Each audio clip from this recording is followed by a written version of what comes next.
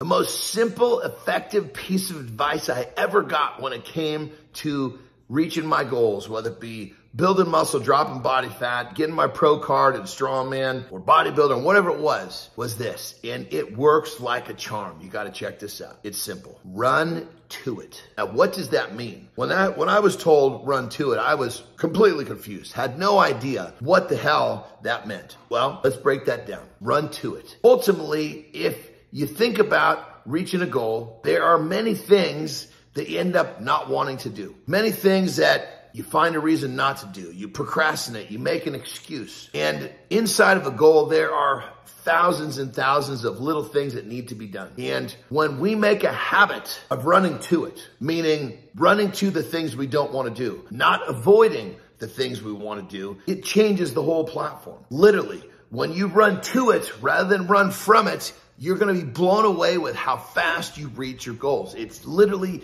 that simple. I'm going to get deeper into this. Now, the reason we run from it is literally the way we're programmed. It's the way we're wired. See, our brains were actually designed to avoid things that were difficult. Our brains were designed to avoid discomfort. Our brains were designed to avoid the things that scared us as a means of survival. When our brains were designed thousands and thousands of years ago, the things that challenge us or obstacles and things that scared us, these things were trying to eat us for lunch. In today's world, none of that's happening. But it's a learned behavior. As human beings, we've been doing it for thousands of years and we still run from it meaning we run from the things that challenge us. We run from the things that scare us. We run from the things that we don't want to do. We run from the things that are more difficult when in actuality, reaching your goals has everything to do with confronting the things that are difficult, confronting the challenges, confronting the difficulty. It's that simple. If you create a habit of running to it, anytime you find yourself not wanting to do something, that's the crossroad. And if you can literally develop the habit of recognizing in your mind, in your brain, starting to procrastinate, you're starting to create an excuse, or even if you're just like thinking through what you've got to do too much, that's the crossroad. Boom, run to it. Dive into it, get started, get it done. It doesn't matter.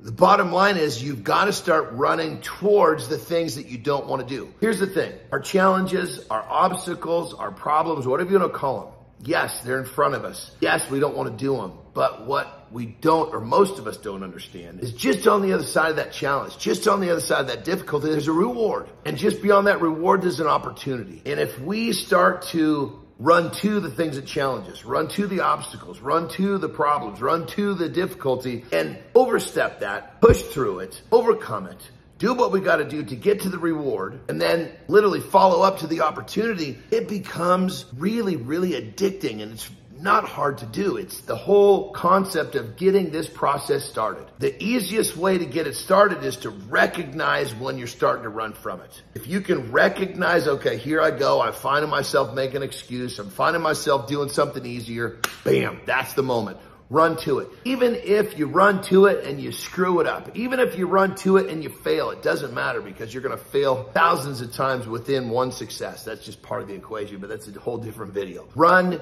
to it because once you start to run to it, you're going to recognize that perceived problem, that perceived obstacle or whatever it is, is not that bad. And just on the other side of that, there's a reward. And just beyond the reward, there's an opportunity. When you start stacking up rewards and opportunities, you're going to be absolutely blown away at how fast you get to your goals. It's a different world. I know this sounds really weird. It sounds really trivial, but it's one of those things like if you're a father, no one, you, can't explain to a non-father what it's like to be a father until you're a father. It's just that the way it works. I'm a dad and I had no clue. It, it, once I became a dad, it was like, boom, life was different. And I realized how different I was because I was a father. This is kind of the same. I mean, once you actually experience the other side where you run to it and it's an, it's an instinct it's a natural reaction because right now your brain, you've got an instinct from your brain to run from it. Once you override that and you create a new habit you start running to it, it's going to change life so much. It's one of those things that you really can't explain to someone unless they've had a piece of it. Now, how long does this take? Realistically, if you make literally a daily practice of trying to recognize, and I say practice because this is daily shit. Even once you're here and you're starting to run to it,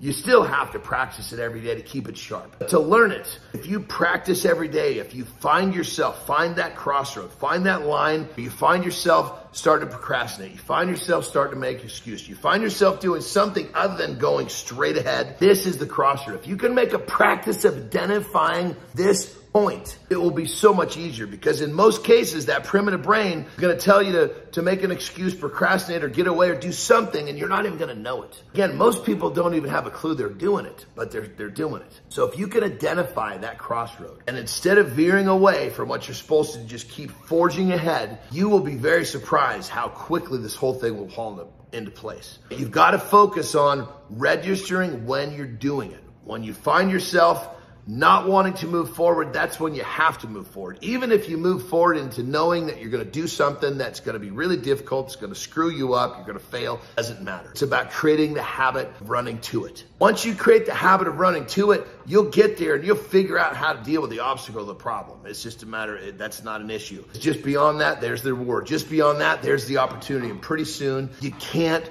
wait to continue to run to it because you know running to it is going to make you feel good because you're going to get a reward and you're going to have another opportunity. And with rewards and opportunity, that is where the goals come quick. So again, one simple piece of advice, run to it. When you find yourself veering off course, Get back on course and run to it. Whatever you were avoiding, get on that stuff. Again, if you like some of the stuff I'm talking about, this is what my coaching's all about. In the description below, there's a link. Hit that link check it out and see if you're a good fit to work with me, if I'm a good fit to work with you. But the bottom line is I am here to inspire you. So whatever you do, keep kicking ass out.